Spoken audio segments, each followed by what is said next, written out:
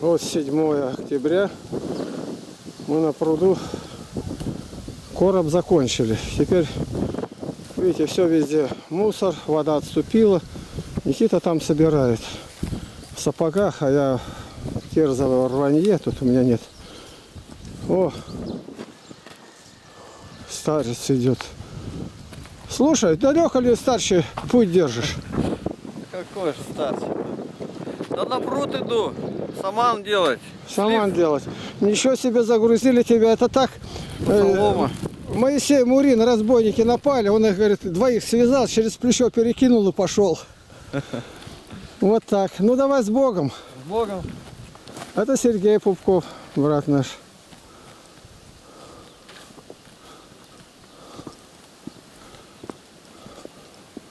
По краям это шифер готовим опускать. Сейчас будем здесь кое-что убирать. Заново трамбовать. Новую дамбочку делать. Где второй прорыв был. Ну а второй прорыв это большая работа еще тут. Это все на одном пруду. На одном. Вот Сергей пошел.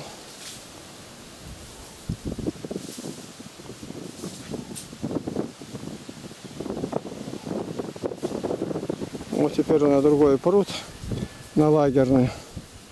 Саманить там будут вокруг входа, устья, лак. По-другому никак не могли. Скажут, так солома, она же истлеет через год, там будут дыры. Во всяком случае, саман в один год не, сжиг- не сгорает. Вот раньше делали как? Не молотили, собирали, чуть-чуть хлеб обмолотят, чтобы листья не, не переломан стебель был пшеницу. И вымачивали в ямах с жидкой глиной. А потом крыли крышу. И она же в глине-то не сгнивала. А какой срок давности? Написано, говорит, около 100 лет. И ничего и не трогается. Ни пожар ее не берет, ни дождь. Ну, толстым слоем, конечно, пучками передают. Загибают их на прожилинах, на стропе обрешеткой. Вот. А это вот что мы делали?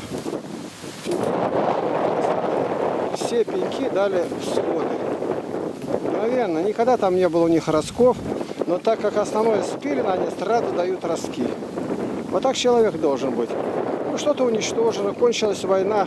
Ну, не, не все же время там в карауле теперь друг друга. И с Америкой не всегда лады были. Глядишь, опять встречаются вместе. Да, у них замыслы у масонов. Но мы-то должны понимать, нам-то, христианам, стоит ли это постоянно держать. Вот обида какая-то. Это не христианское чувство. Вот зимой мы договорились, чтобы э, Потеряевские здесь спилили все вот эти, это, вот видите, в каком положении находятся. Вот она, это полулежащая. Другие совсем упали деревья. Их надо все спилить и как ее вывод. Ну, диаметр тут метр примерно 30. Метр 30. Как пилить ее? Тоже пока неизвестно. Выпилить э, угольниками. Вот оно, дерево показано какое. О, ну это все надо свалить, все деревья. А их таких деревьев около 25. Понятно, что предстоит большая работа. Вот она деревья, видите, какие огромные-огромные суки. Вчера мы здесь увидели внизу, где даже вода.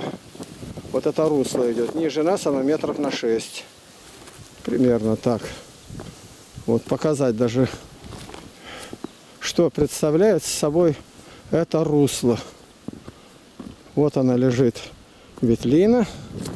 Вот она где-то, тень где моя. И она боком лежит. Вот. Я не нащупаю, наверное. Вот она протянулась тут, ну, метров 25 лежа. И растет, земли не касается, сучками уперлась только. Вот так. А это там синий. Сено дьяка накрыл большой пленкой. Это его дом. Можно представить, какие площади надо накрывать. В городе расходов нет. Никаких этих. Он сидит в окошко, выглядывает. Да, молоко привезли, в очередь стал.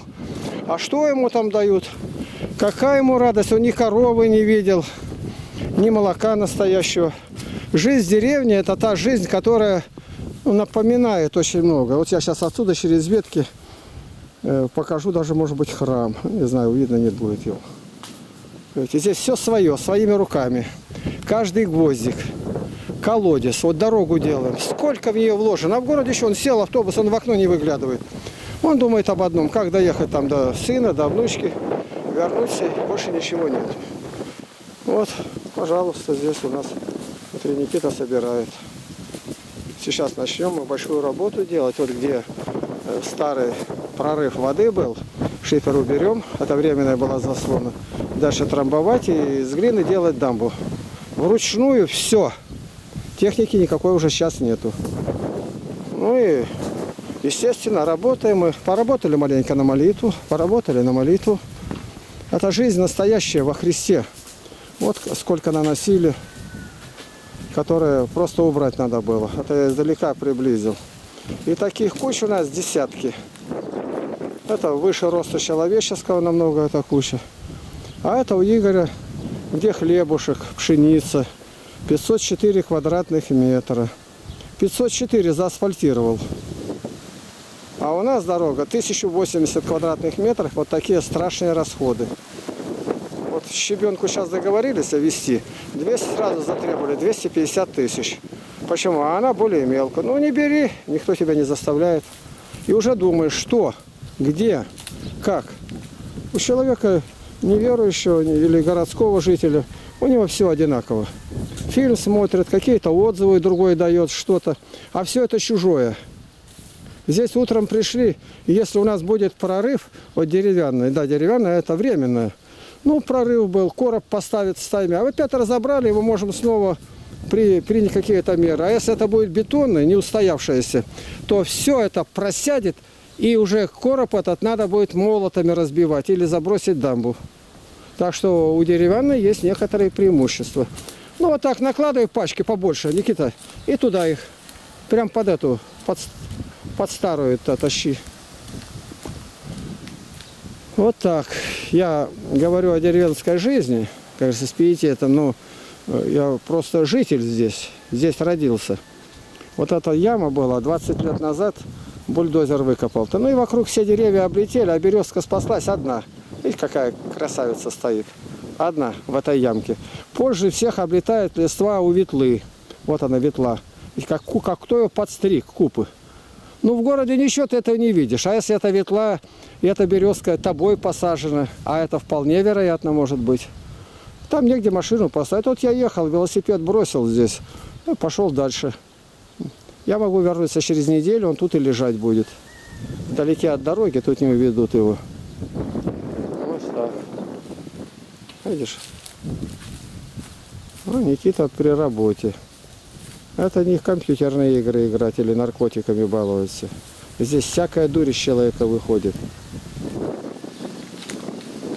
Сколько он поклонов сделает. Да все с молитвой. Вообще.